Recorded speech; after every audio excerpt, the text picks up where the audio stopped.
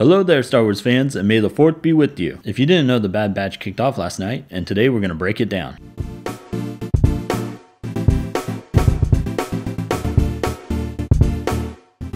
So the opening of the Bad Batch shows us the transition from the Clone Wars, indicating that the Clone Wars is over and it's time for a new story. Now the Bad Batch's story begins on Kaller, where we're introduced to Depa Billaba fighting off Separatist forces with Clone Commander Grey. And it's looking grim till they are rescued by Caleb Dume and Clone Force 99. During the battle, Tech receives encrypted comm chatter on the Clone channel that Obi-Wan is defeating Grievous and the war is almost over. Shortly after that, Clone Commander Grey receives a message to execute Order 66. Depa senses the deaths of Jedi Jedi throughout the galaxy when all her clone troopers start firing on her. She is able to block a few rounds, she's able to yell, Run Caleb, prior to receiving a Ki-Adi-Mundi death. Lines the Grand Inquisitor would use later to torture Kanan. Now during all this, the Bad Batch is unaffected by Order 66 and cannot make sense of what is happening. Tech says the regs are ordered to execute all the Jedi for treason, and Hunter tries to protect Dume. Crosshair still attacks him and says good soldiers follow orders, a line first uttered by Tup when his chip malfunctioned and executed Jedi Master Tiplar. So it seems that this line is built-in brainwashing and is a message telling the troops that you're just following orders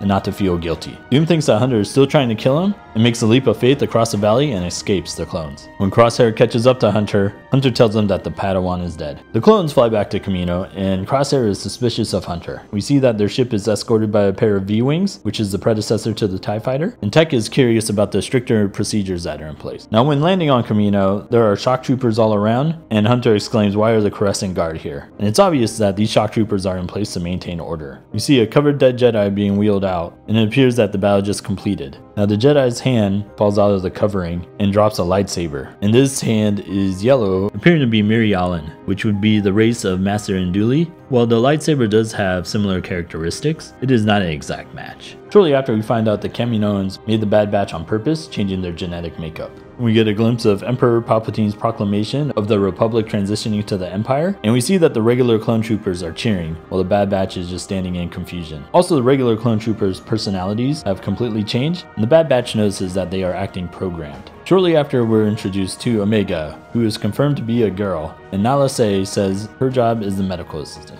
Admiral Tarkin arrives shortly after, surrounded by shock troopers, to deliver to the Kaminoans that the contract has been cancelled, and the contract was with the Republic, not the Empire. And here we kind of get an outlining of the reason why they would want to transition from clone troopers to enlisted troops. And one of the main causes is the enlisted troops are only half the price, and systems of the Empire could be forced into service. Shortly after a brawl breaks out in the cafeteria, and Clone Force 99 defends Omega like one of their own. Echo is knocked out, and we see AZI-3 again, assisting Omega. Now AZI-3 assisted Clone Trooper Fives when the discovery of the chips first took place. During his blackout, Echo notices Tarkin, he later tells Clone Force 99 that during the Citadel fight, he was there to rescue Tarkin, and Tarkin is no fan of clones. And this happens to be the mission that Echo goes MIA. Shortly after that, Clone Force 99 is battle tested. We hear Tarkin's calm, famous lines of you may begin when ready, similar to the line he says when he's ordering the Death Star to fire. Clone Force 99 easily dispatches the training droids. Tarkin wants them to have a real test and turns on live fire.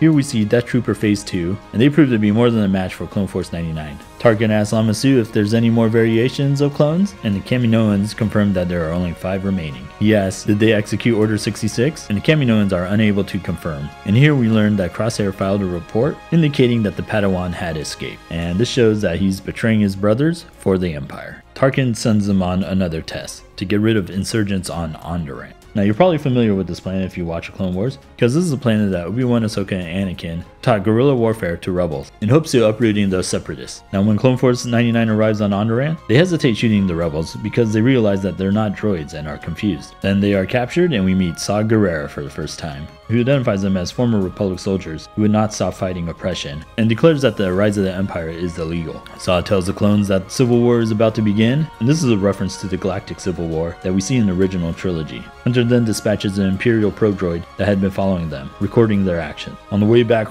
Crosshair gets upset at them failing their mission and is proclaiming that Hunter is unfit to lead the team. Hunter tells the team that Omega gave him a warning not to return, and Tech confirms that Omega has enhanced senses. Now it seems like Omega does not have advanced aging like Boba Fett. Omega sneaks into the Bad Batch's room and finds a Lothcat doll belonging to Wrecker. Now this is a nod to Rebels where the vast majority of the show is from Lothal, which happens to be where the cats are native to. Now once Clone Force 99 returns to the Kamino system, they receive no response from the deck officer, Once landed, the shock troopers surround Clone Force 99 and accuse them of treason for failing to follow orders. While in prison, Crosshair continues to repeat good soldiers follow orders. Tarkin is curious why Crosshair did not resist and calls for the Kaminoan Serena scan.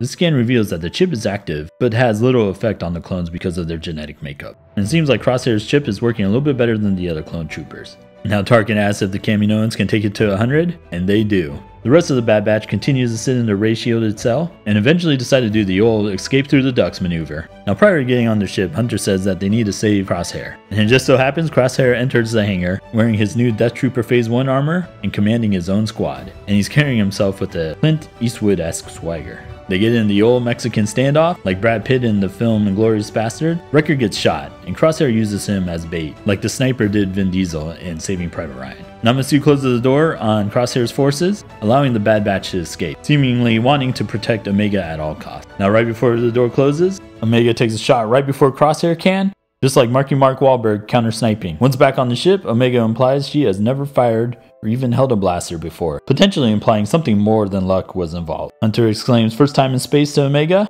giving a callback to the conversation between Padme and Anakin. But while Anakin was cold and lonely, Omega is excited for the new adventure. Hunter tells Tech to plot course to J-19, which is in the Suolriep sector where Saleucami is located, which is giving us a good indication that they might be meeting up with Rex and Cut. Also, the Lasan bow rifle is named J19. Hunter says strap up kid to Omega, which is a nod to Han and Luke when they were escaping Tatooine. Now, what do I think about the first episode of Bad Batch? This episode was great so far. I love how its tone is serious and doesn't take time to build up, unlike in Rebels and in the Clone Wars. Now, it seems like there's a lot of tension between the Empire and the Kaminoans, I would not be surprised if we see a Kaminoan rebellion, maybe using a different template of clone troopers, one that the Empire can't control. And ultimately, I think the Empire is going to wipe out Kamino. Now, in regards to the dead Jedi on Kamino, I thought we could see Lasan Jedi Master Jaro Tapal, who is Cal Kestis' master, but he's large and purple because he's a Lasat. I'm looking forward to episode 2 that comes out this Friday.